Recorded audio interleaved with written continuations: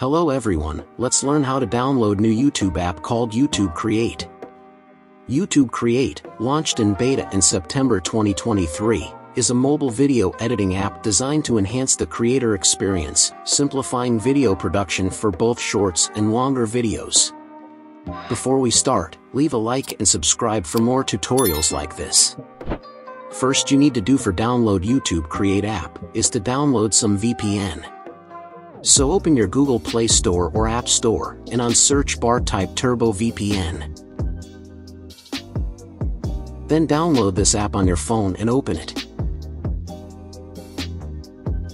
When you do that you need to tap on this carrot to VPN connect on your network.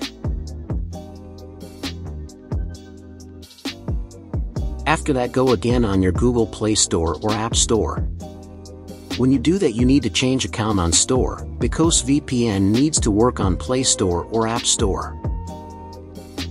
Next on search bar type YouTube Create, and open it. Now click on blue button where is written install, and wait a couple of seconds to download the application.